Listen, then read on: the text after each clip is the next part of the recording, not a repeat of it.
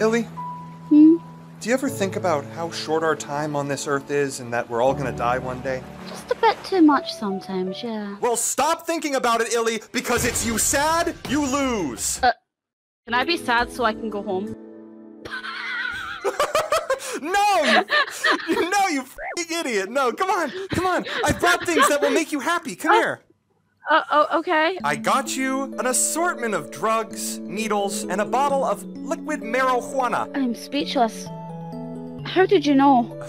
It's like my mother always says if you want the video to go viral, send your friend into a drug spiral. I cannot with you anymore, Drumsy. Uh,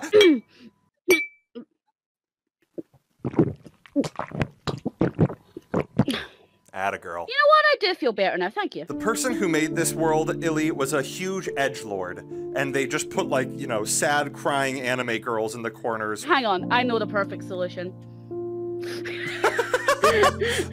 Stop being sad! Ma'am, have you ever just tried not being depressed? We can't put any of this on the screen right now because there are a bunch of triggering things on the walls. Look at Sayori.